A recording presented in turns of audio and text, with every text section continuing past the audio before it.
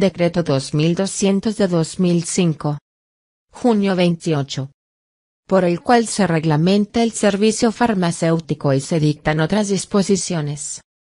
El presidente de la República de Colombia. En ejercicio de sus atribuciones constitucionales y legales, en especial las conferidas por el numeral 11 del artículo 189 de la Constitución Política, la Ley 23 de 1962 y demás normas que la desarrollan o modifican, el numeral 42.3 del artículo 42 de la Ley 715 de 2001 y el literal C, del artículo 154 de la Ley 100 de 1993, decreta, capítulo I, disposiciones generales, artículo primero. Objeto. El presente decreto tiene por objeto regular las actividades y barra o procesos propios del servicio farmacéutico. Artículo segundo. Campo de aplicación. Las disposiciones del presente decreto se aplicarán a los prestadores de servicios de salud, incluyendo a los que operen en cualquiera de los regímenes de excepción contemplados en el artículo 279 de la Ley 100 de 1993, a todo establecimiento farmacéutico donde se almacenen, comercialicen, distribuyan o dispensen medicamentos o dispositivos médicos, en relación con el o los procesos para los que esté autorizado y a toda entidad o persona que realice una o más actividades y barra o procesos propios del servicio farmacéutico. Parágrafo se exceptúan de la aplicación de las disposiciones contenidas en el presente decreto a los laboratorios farmacéuticos cuyo funcionamiento continuará regido por las normas vigentes sobre la materia. Artículo 3. Definiciones. Modificado por el artículo 1, Decreto Nacional 2330 de 2006. Para efectos del presente decreto adóptense las siguientes definiciones. Atención farmacéutica es la asistencia a un paciente o grupos de pacientes, por parte del químico farmacéutico, en el seguimiento del tratamiento farmacoterapéutico, dirigida a contribuir con el médico tratante y otros profesionales del área de la salud en la consecución de los resultados previstos para mejorar su calidad de vida. Denominación común internacional para las sustancias farmacéuticas, sí. Es el nombre recomendado por la Organización Mundial de la Salud, OMS, para cada medicamento. La finalidad de la denominación común internacional, sí, es conseguir una buena identificación de cada fármaco en el ámbito internacional. Dispensación es la entrega de uno o más medicamentos y dispositivos médicos a un paciente y la información sobre su uso adecuado realizada por el químico farmacéutico y el tecnólogo en regencia de farmacia. Cuando la dirección técnica de la droguería, o del establecimiento autorizado para la comercialización al detal de medicamentos, esté a cargo de personas que no ostenten título de químico farmacéutico o tecnólogo en regencia de farmacia. La información que debe ofrecer al paciente versará únicamente sobre los aspectos siguientes, condiciones de almacenamiento, forma de reconstitución de medicamentos cuya administración sea la vía oral, medición de la dosis, cuidados que se deben tener en la administración del medicamento, y, la importancia de la adherencia a la terapia. Distribución física de medicamentos y dispositivos médicos. Es el conjunto de actividades que tienen por objeto lograr que el medicamento o dispositivo médico que se encuentra en el establecimiento farmacéutico y distribuidor autorizado sea entregado oportunamente al usuario, para lo cual deberá contarse con la disponibilidad del producto, tiempo y espacio en el servicio farmacéutico o el establecimiento farmacéutico, estableciéndose vínculos entre el prestador del servicio, el usuario y los canales de distribución. Distribución intrahospitalaria de medicamentos. Es el proceso que comprende la prescripción de un medicamento a un paciente en una institución prestadora de servicios de salud, por parte del profesional legalmente autorizado, la dispensación por parte del servicio farmacéutico, la administración correcta de la dosis y vía prescrita y en el momento oportuno por el profesional de la salud legalmente autorizado para tal fin, el registro de los medicamentos administrados y barra o la devolución debidamente sustentada de los no administrados, con el fin de contribuir al éxito de la farmacoterapia. Establecimiento farmacéutico. Es el establecimiento dedicado a la producción, almacenamiento, distribución, comercialización, dispensación, control o aseguramiento de la calidad de los medicamentos, dispositivos médicos o de las materias primas necesarias para su elaboración y demás productos autorizados por ley para su comercialización en dicho establecimiento. Estudios de utilización de medicamentos. Son aquellas investigaciones que se realizan con el objeto de permitir el análisis de la comercialización, distribución, prescripción y uso de medicamentos en una sociedad, con acento especial en las consecuencias médicas, sociales y económicas resultantes relacionadas con el consumo de los medicamentos. Evento adverso. Es cualquier suceso médico desafortunado que puede presentarse durante un tratamiento con un medicamento, pero que no tiene necesariamente relación causal con el mismo. Farmacocinética clínica. Es la disciplina que aplica los principios farmacocinéticos para asegurar las concentraciones séricas de los fármacos dentro de su margen terapéutico y conseguir la máxima eficacia con una mínima incidencia de efectos adversos. Farmacoeconomía. Es el conjunto de procedimientos o técnicas de análisis dirigidas a evaluar el impacto de las distintas operaciones e intervenciones económicas sobre el bienestar de la sociedad con énfasis no solo sobre los costos sino también sobre los beneficios sociales, siendo su objetivo principal contribuir a la elección de la mejor opción posible y por tanto, a la optimización de los recursos. Farmacoepidemiología. Es el estudio del uso y efecto de los medicamentos en un número elevado de personas, empleando los conocimientos, métodos y razonamientos de la epidemiología, teniendo como componentes los estudios de utilización de medicamentos y la farmacovigilancia. Farmacovigilancia. Es la ciencia y actividades relacionadas con la detección, evaluación, entendimiento y prevención de los eventos adversos o cualquier otro problema relacionado con medicamentos. Gestión del servicio farmacéutico.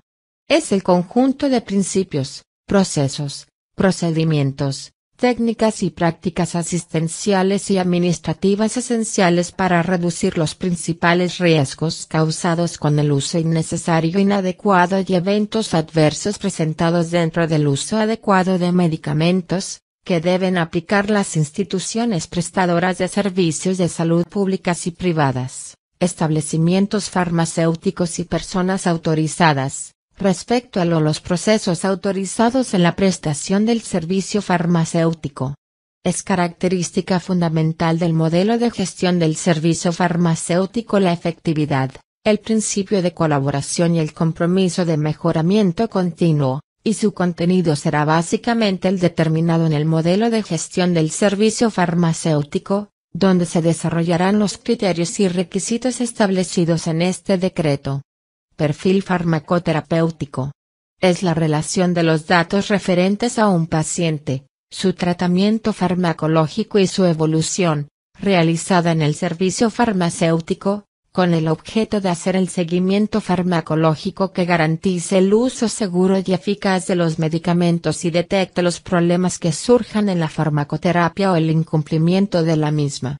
Preparación magistral es el preparado o producto farmacéutico elaborado por un químico farmacéutico para atender una prescripción médica, de un paciente individual, que requiere de algún tipo de intervención técnica de variada complejidad.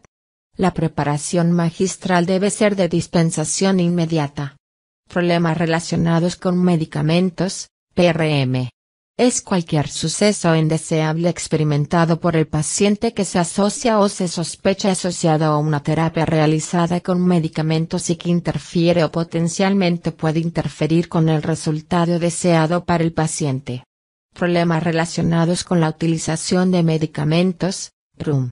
Corresponden a causas prevenibles de problemas relacionados con medicamentos, asociados a errores de medicación, prescripción, dispensación, administración o uso por parte del paciente o cuidador, incluyendo los fallos en el sistema de suministro de medicamentos, relacionados principalmente a la ausencia en los servicios de procesos administrativos y técnicos que garanticen la existencia de medicamentos que realmente se necesiten, acompañados de las características de efectividad, seguridad, calidad de la información y educación necesaria para su utilización correcta. Servicio de información de medicamentos es el conjunto de actividades informativas que hacen parte del servicio farmacéutico de una institución prestadora de servicios de salud, establecimiento farmacéutico o persona autorizada, que busca la satisfacción de las necesidades específicas de información sobre los medicamentos y su uso adecuado por parte del paciente, el equipo de salud y la comunidad. La información debe estar sustentada en fuentes científicas actualizadas e independientes. Uso adecuado de medicamentos. Es el proceso continuo, estructurado y diseñado por el Estado, que será desarrollado e implementado por cada institución, y que busca asegurar que los medicamentos sean usados de manera apropiada, segura y efectiva. Capítulo I. Del servicio farmacéutico. Artículo 4. Servicio farmacéutico es el servicio de atención en salud responsable de las actividades, procedimientos e intervenciones de carácter técnico, científico y administrativo, relacionados con los medicamentos y los dispositivos médicos utilizados en la promoción de la salud y la prevención, diagnóstico, tratamiento y rehabilitación de la enfermedad, con el fin de contribuir en forma armónica e integral al mejoramiento de la calidad de vida individual y colectiva. Artículo 5. Formas de prestación del servicio farmacéutico. El servicio farmacéutico podrá ser prestado de manera dependiente o independiente, en los términos siguientes. Servicio farmacéutico independiente. Es aquel que es prestado a través de establecimientos farmacéuticos. Servicio farmacéutico dependiente es aquel servicio asistencial a cargo de una institución prestadora de servicios de salud, el que además de las disposiciones del presente decreto debe cumplir con los estándares del Sistema Único de Habilitación del Sistema Obligatorio de Garantía de Calidad en Salud. Parágrafo. Una institución prestadora de servicios de salud, además de distribuir intrahospitalariamente los medicamentos y dispositivos médicos a sus pacientes hospitalizados, en las mismas instalaciones puede dispensar los medicamentos y dispositivos médicos a sus pacientes ambulatorios, en las condiciones establecidas en el modelo de gestión del servicio farmacéutico. Artículo 6. Objetivos del servicio farmacéutico. El servicio farmacéutico tendrá como objetivos primordiales los siguientes. 1. Promover y propiciar estilos de vida saludables. 2 prevenir factores de riesgo derivados del uso inadecuado de medicamentos y dispositivos médicos y promover su uso adecuado. 3. Suministrar los medicamentos y dispositivos médicos e informar a los pacientes sobre su uso adecuado. 4. Ofrecer atención farmacéutica a los pacientes y realizar con el equipo de salud todas las intervenciones relacionadas con los medicamentos y dispositivos médicos necesarias para el cumplimiento de su finalidad. Parágrafo.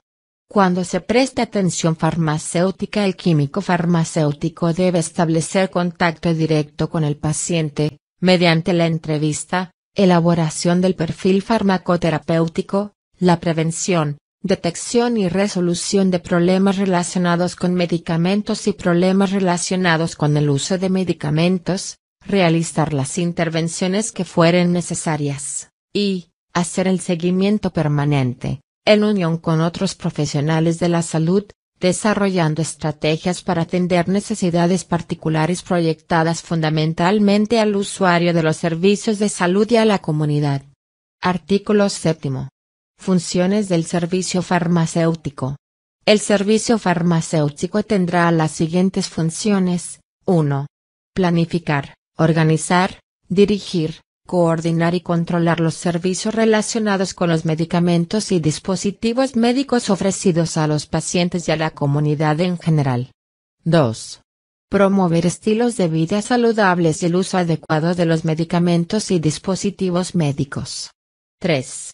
Seleccionar, adquirir, recepcionar y almacenar, distribuir y dispensar medicamentos y dispositivos médicos.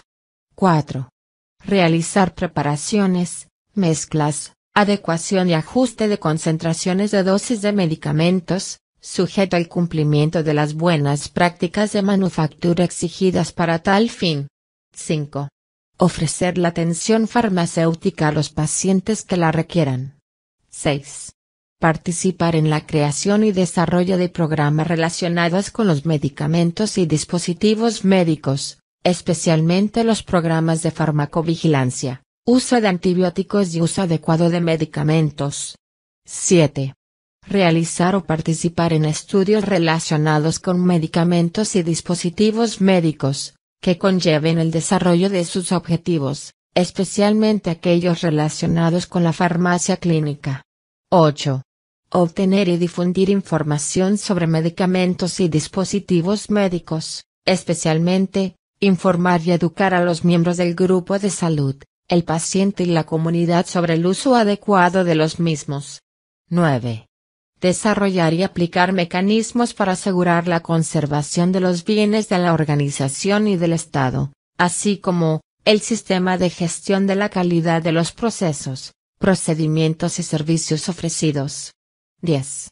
Participar en los comités de farmacia y terapéutica, de infecciones y de bioética, de la institución.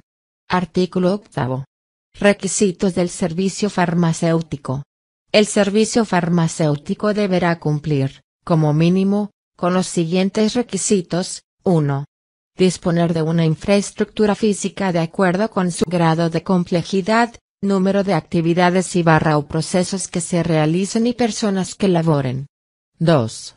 Contar con una dotación, constituida por equipos, instrumentos, bibliografía y materiales necesarios para el cumplimiento de los objetivos de las actividades y barra o procesos que se realizan en cada una de sus áreas. 3. Disponer de un recurso humano idóneo para el cumplimiento de las actividades y barra o procesos que realice. Parágrafo.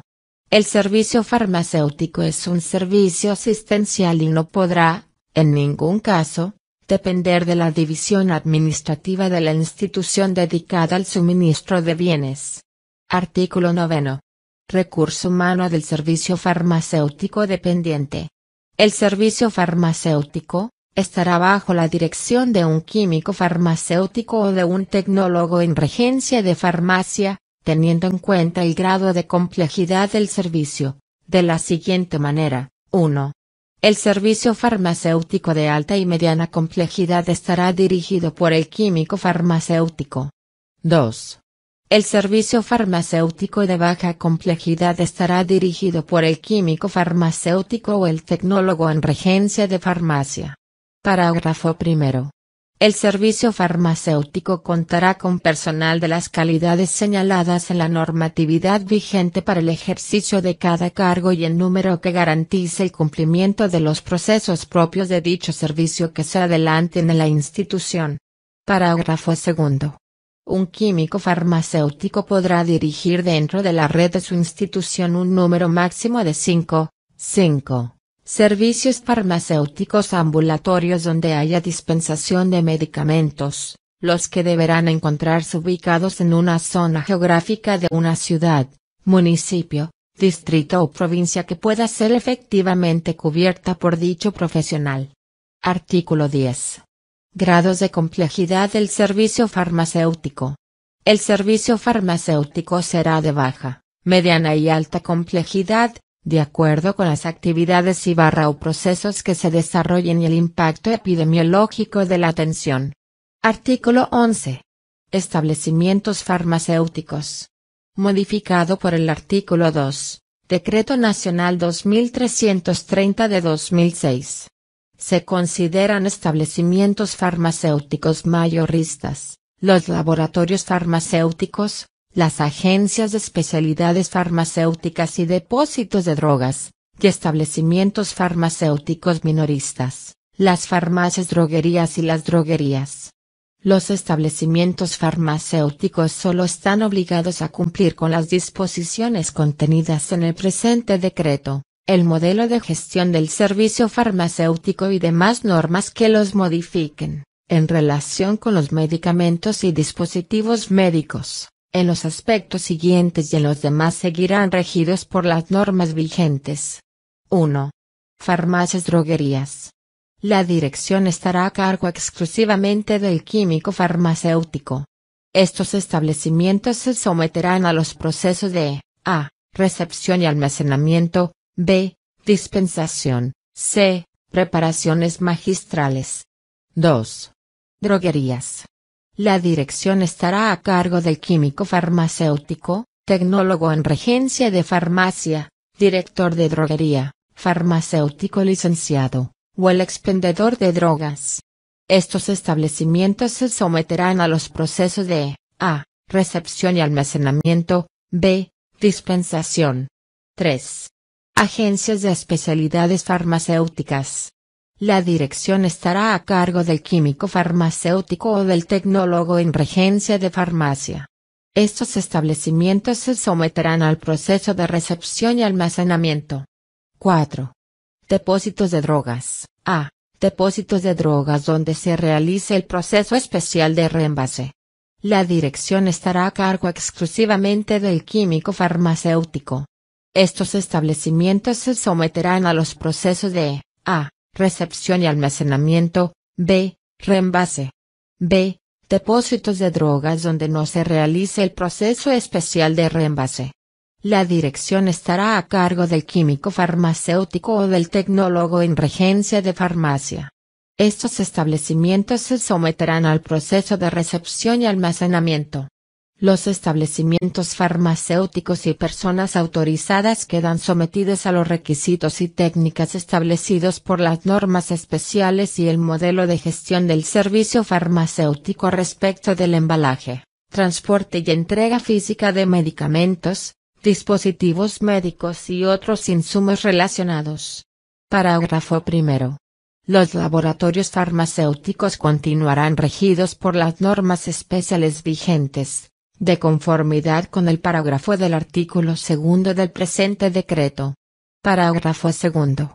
Cuando las farmacias droguerías, droguerías o las personas autorizadas, sean contratadas para la prestación de servicios dentro del Sistema General de Seguridad Social en Salud, deberán cumplir íntegramente con lo establecido en el presente decreto y el modelo de gestión del servicio farmacéutico que expedirá el Ministerio de la Protección Social. Parágrafo tercero.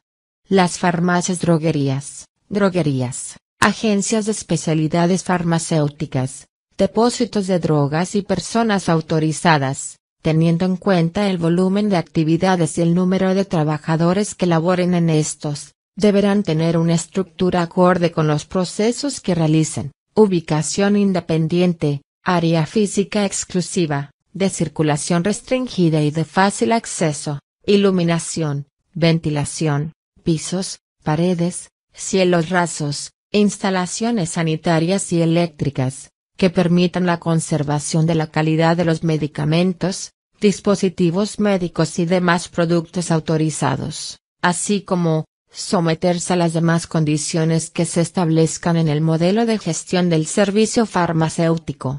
Parágrafo cuarto. Derogado por el artículo 3, Decreto Nacional 2330 de 2006. En las agrupaciones de droguerías de un mismo propietario, cada cinco, cinco de ellas estarán bajo la dirección de un químico farmacéutico, sin perjuicio de que en cada uno de estos sitios esté a cargo del expendedor de drogas o el recurso humano autorizado para estos establecimientos. Parágrafo quinto. Los establecimientos farmacéuticos que se encarguen de realizar una o más actividades y barra o procesos propios del servicio farmacéutico por cuenta de otra persona, deberán cumplir para ello con las condiciones y requisitos establecidos por el presente decreto, el modelo de gestión del servicio farmacéutico que determina el Ministerio de la Protección Social y demás normas que regulen las respectivas actividades y barra o procesos, responsabilizándose solidariamente con la contratante ante el Estado y los usuarios, beneficiarios o destinatarios por los resultados de la gestión. Cuando en estos establecimientos farmacéuticos se realicen operaciones de elaboración, transformación, reparaciones, mezclas, adecuación y ajuste de concentraciones de dosis, reembazo o reempaque de medicamentos, deberán obtener el certificado de cumplimiento de buenas prácticas de manufactura, otorgado por el Instituto Nacional de Vigilancia de Medicamentos y Alimentos, INVIMA, y su dirección técnica estará a cargo exclusivamente del químico farmacéutico. Los productos ahí elaborados no requieren de registro sanitario. El establecimiento farmacéutico o servicio farmacéutico institucional podrá funcionar con la autorización o habilitación por parte de la entidad territorial de salud o el certificado de cumplimiento de buenas prácticas de manufactura otorgado por el Instituto Nacional de Vigilancia de Medicamentos y Alimentos, INVIMA, para aquellos establecimientos a los que se les exige, según corresponda, cuando estos establecimientos farmacéuticos realicen actividades y barra o procesos propios del servicio farmacéutico a una institución prestadora de servicios de salud se someterán a la normatividad aplicable a dicha actividad y barra o proceso, sin perjuicio de la responsabilidad de la institución prestadora de servicios de salud respecto al cumplimiento de los estándares de cada una de las actividades y barra o procesos. Artículo 12. Apertura o traslado de establecimientos farmacéuticos minoristas. Modificado por el Decreto Nacional 3554 de 2008. El nuevo texto es el siguiente, para la aprobación de apertura o traslado de un establecimiento farmacéutico minorista, en todo el territorio nacional, sin excepción alguna deberá existir entre el establecimiento farmacéutico minorista solicitante y el establecimiento farmacéutico minorista más cercano una distancia mínima de 75, 75 metros lineales. Para el funcionamiento de los establecimientos farmacéuticos minoristas, se debe obtener previamente por parte de la autoridad competente, el certificado de distancia, las entidades territoriales de salud deben contar con una base de datos actualizada de los establecimientos farmacéutico autorizados que funcionen en su jurisdicción. Parágrafo 1 grado. Para medir la distancia mínima que debe existir para la apertura o traslado de un establecimiento farmacéutico minorista respecto de otro ya establecido, las entidades encargadas de realizar la medición tendrán en cuenta los siguientes criterios 1. Se hará desde el centro de la entrada principal del establecimiento farmacéutico minorista solicitante de la apertura o traslado, hasta el centro de la entrada principal del establecimiento farmacéutico minorista más cercano, por la vía que debe recorrer el usuario cruzando puentes y pasos peatonales, boca calles autorizadas o similares, escaleras, entre otros, de conformidad con lo previsto en el inciso 2 grado del parágrafo 2 grado del artículo 58 de la Ley 769 de 2002 o las normas que la modifiquen, adicionen o sustituyan. 2. Cuando en uno o en los dos establecimientos farmacéuticos minoristas involucrados exista más de una dirección, la medición se hará desde el centro de la entrada principal de la dirección registrada en la Cámara de Comercio del lugar de ubicación del establecimiento solicitante a la entrada principal del otro. En el evento de existir dos vías para ir de un establecimiento al otro, la medición será por la de menor distancia. 3. Para los establecimientos farmacéuticos minoristas ubicados en los centros comerciales, la medición se hará desde el centro de la entrada principal del establecimiento farmacéutico minorista solicitante de la apertura o traslado, hasta el centro de la entrada principal del establecimiento farmacéutico minorista más cercano, teniendo en cuenta el recorrido del peatón por escaleras, rampas, pasillos, ascensores, etc. Cuando haya más de una forma de desplazamiento para ir de un establecimiento a otro, la medición será por la de menor distancia. 4.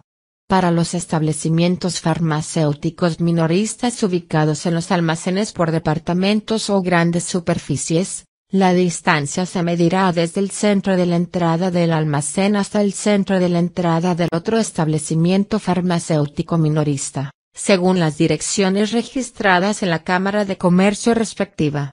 5. Cuando la entidad territorial de salud envíe la solicitud de medición firmada por el responsable de vigilancia y control a la oficina de catastro, planeación departamental, distrital o municipal, Instituto Geográfico Agustín Codazzi o la entidad que haga sus veces, deberá especificar si se trata de un establecimiento farmacéutico minorista, farmacia, droguería o droguería dedicada a la venta de los productos señalados en el inciso 2 grado del literal D, del artículo 34 de la Ley 1122 de 2007. Previo a la visita de la autoridad competente, el establecimiento farmacéutico minorista deberá ubicar en una parte visible, un aviso valla informativa en el que se anuncie que va a funcionar. El mencionado establecimiento tendrá un plazo de 30, 30 días calendario para su apertura o traslado, contado a partir de la fecha en que se otorgue la certificación. Parágrafo 2 grado.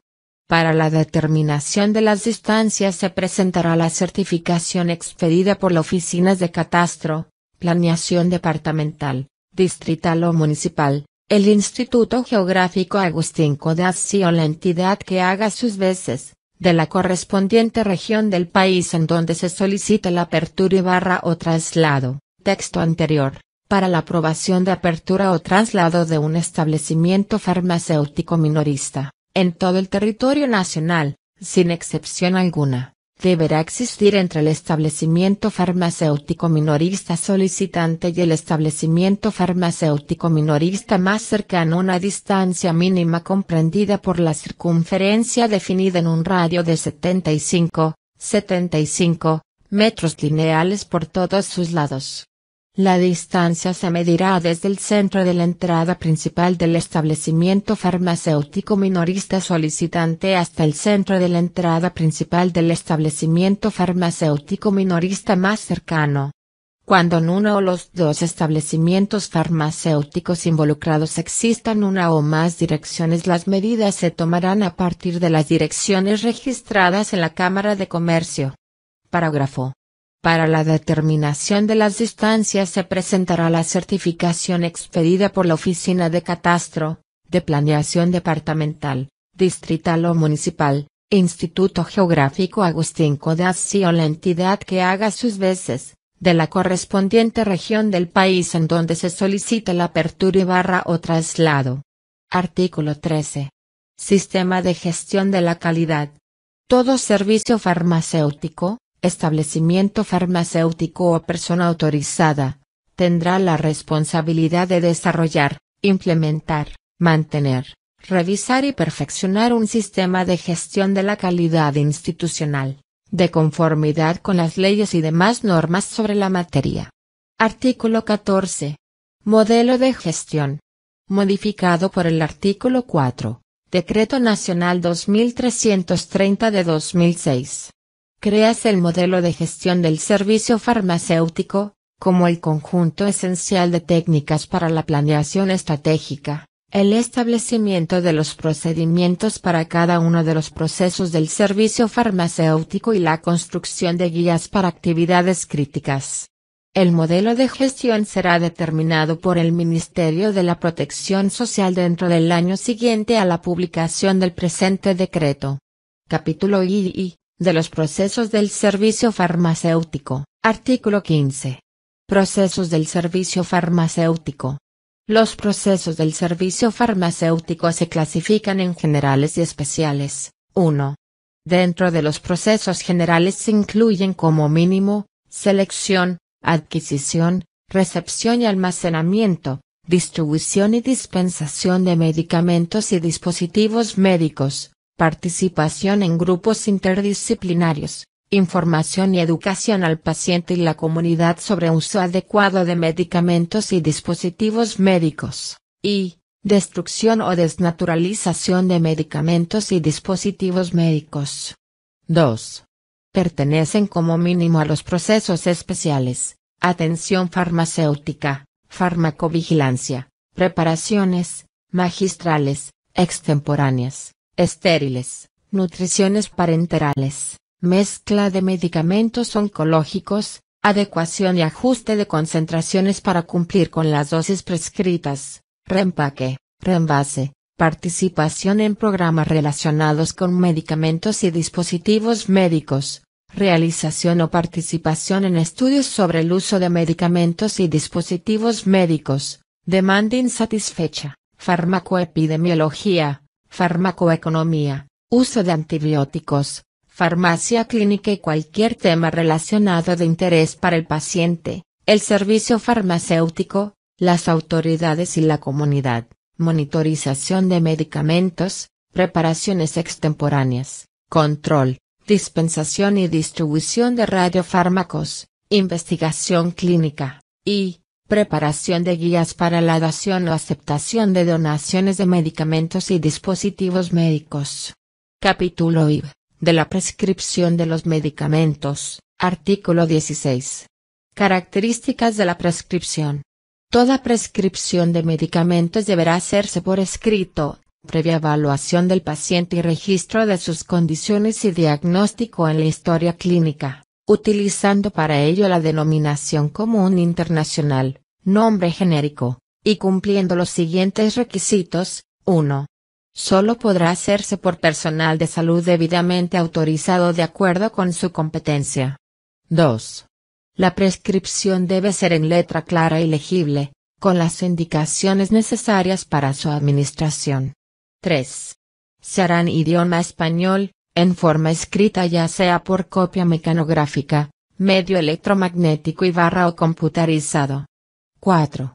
No podrá contener enmendaduras o tachaduras, siglas, claves, signos secretos, abreviaturas o símbolos químicos, con la excepción de las abreviaturas aprobadas por el Comité de Farmacia y Terapéutica de la institución.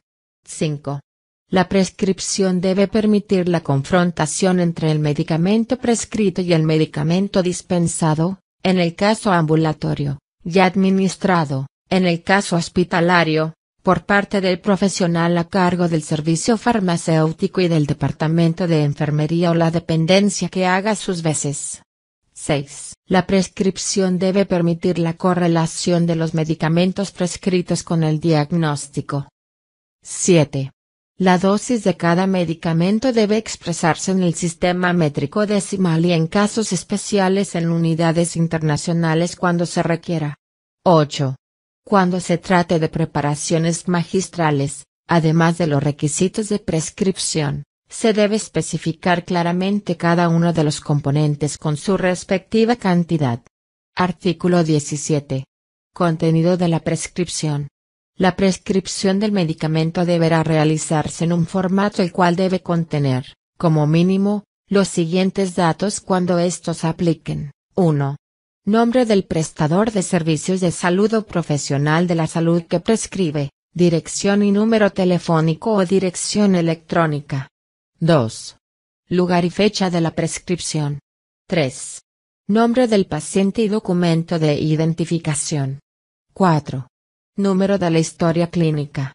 5. Tipo de usuario, contributivo, subsidiado, particular, otro. 6. Nombre del medicamento expresado en la denominación común internacional, nombre genérico. 7. Concentración y forma farmacéutica. 8. Vía de administración. 9. Dosis y frecuencia de administración. 10. Período de duración del tratamiento. 11. Cantidad total de unidades farmacéuticas requeridas para el tratamiento, el número y letras. 12. Indicaciones que a su juicio considere el prescriptor. 13. Vigencia de la prescripción. 14. Nombre y firma del prescriptor con su respectivo número de registro profesional. Capítulo V. De la distribución y dispensación de medicamentos. Artículo 18. Distribución de medicamentos. La distribución física de medicamentos estará regulada por las normas técnicas que expida el Ministerio de la Protección Social. El embalaje y barra o transporte de productos farmacéuticos forman parte de la distribución intrahospitalaria o física y deberán ser tenidos en cuenta en el desarrollo del modelo de gestión del servicio farmacéutico. El servicio farmacéutico deberá determinar el sistema o los sistemas de distribución intrahospitalaria de medicamentos y dispositivos médicos que deban implementarse en la institución prestadora de servicios de salud, para garantizar la oportunidad, seguridad, eficiencia y calidad de los medicamentos y dispositivos médicos que deban suministrarse a los pacientes. Los servicios farmacéuticos de las instituciones de segundo y tercer nivel de complejidad deberán implementar el sistema de distribución de medicamentos en dosis unitaria, de acuerdo con las condiciones, criterios y procedimientos establecidos en la normatividad vigente y los que se establezcan en el modelo de gestión del servicio farmacéutico. Los servicios farmacéuticos del primer nivel de complejidad podrán adoptar el sistema de distribución de medicamentos en dosis unitaria, sometiéndose a las condiciones, criterios y procedimientos señalados. El sistema de distribución de medicamentos en dosis unitaria podrá operar en una institución de salud con otro u otros sistemas intrahospitalarios de distribución. Artículo 19. Obligaciones del dispensador. Son obligaciones del dispensador. 1. Verificar que la prescripción esté elaborada por el personal de salud competente y autorizado y que cumpla con las características y contenido de la prescripción, establecidos en el presente decreto. 2. Verificar que las preparaciones, magistrales, extemporáneas, estériles, nutrición parenteral, y, mezclas de medicamentos oncológicos, contengan en el rótulo o etiquetas la información sobre el paciente hospitalizado o ambulatorio, según el caso, de la preparación o de la mezcla, y, la firma del responsable. 3. Exigir la prescripción para aquellos medicamentos en los que aparezca en la etiqueta la leyenda venta bajo fórmula médica. 4. No dispensar y consultar al prescriptor cuando identifiquen una prescripción posibles errores, con el fin de no incurrir en falta contra la ética profesional. 5. Verificar y controlar que los medicamentos dispensados correspondan a los prescritos. 6. Informar al usuario sobre los aspectos indispensables que garanticen el efecto terapéutico y promuevan el uso adecuado de los medicamentos, tales como, condiciones de almacenamiento, cómo reconstituirlos, cómo medir la dosis, ¿Qué cuidados debe tener en la administración, interacciones con alimentos y otros medicamentos, advertencias sobre efectos adversos, contraindicaciones y la importancia de la adherencia a la terapia?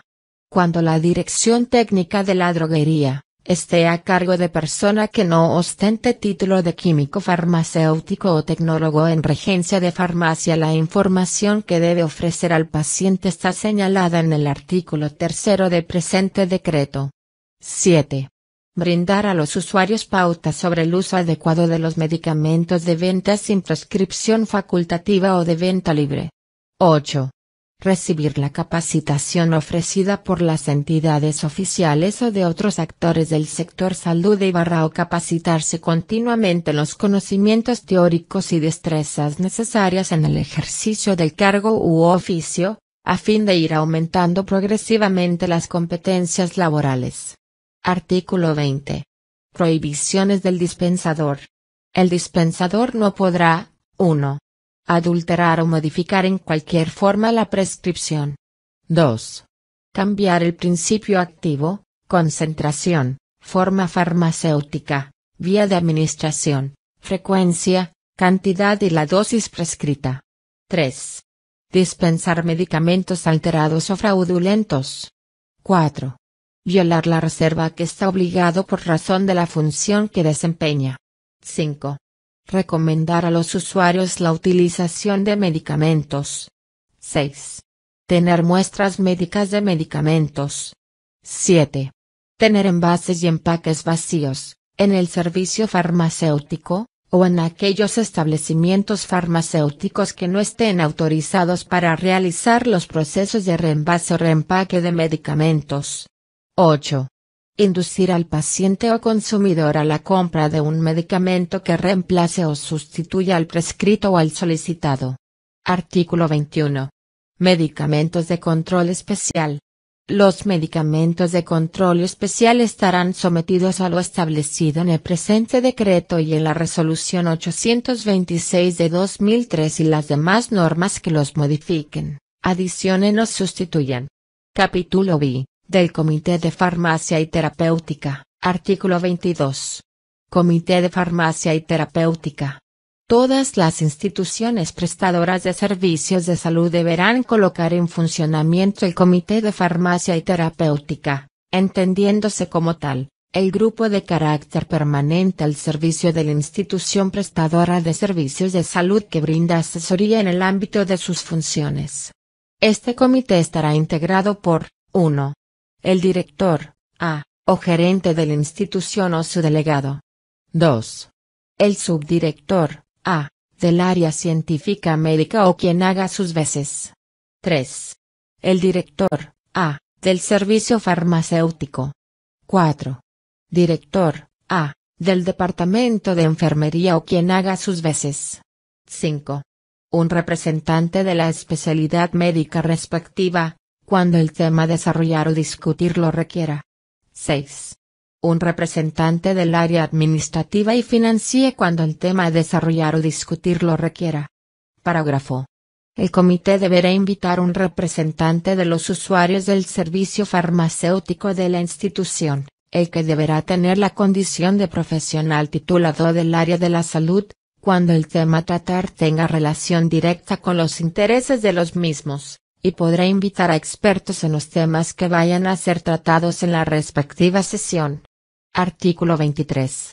Funciones del Comité de Farmacia y Terapéutica. El Comité de Farmacia y Terapéutica deberá desarrollar, como mínimo, las siguientes funciones. 1. Formular las políticas sobre medicamentos y dispositivos médicos en la institución prestadora de servicios de salud en relación con la prescripción, dispensación, administración, sistemas de distribución, uso y control, y establecer los mecanismos de implementación y vigilancia de las mismas. 2.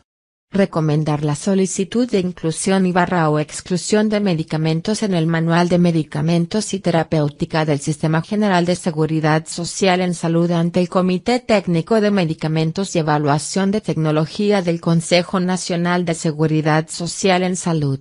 Para tal efecto deberá ceñirse al reglamento de funcionamiento de dicho comité. 3. Conceptuar sobre las guías de manejo para el tratamiento de las patologías más frecuentes en la institución. 4. Coordinar con el Comité de Infecciones de la institución prestadora de servicios de salud, el impacto, seguimiento y evaluación de los perfiles epidemiológicos institucionales y la eficacia de la terapia farmacológica instaurada en los casos especiales.